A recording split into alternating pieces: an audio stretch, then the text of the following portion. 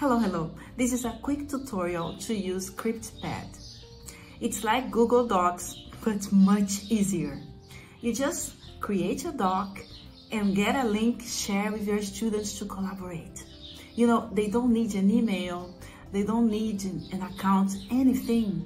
They just open the link on their devices and can collaborate exactly like Google Docs, except that it's easier and safer because everything is scripted. So let's go to this tutorial.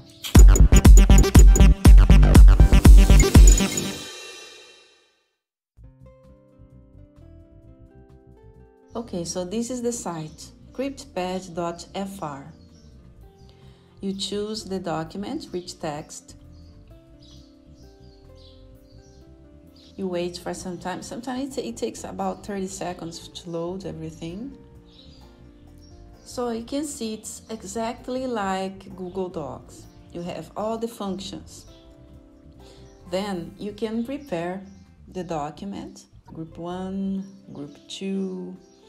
You, you put the number of groups that you want.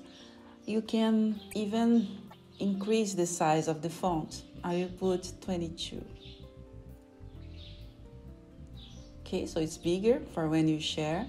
Uh, you can even use bold type. Uh, you can edit the way you want. Then you share. You get a link.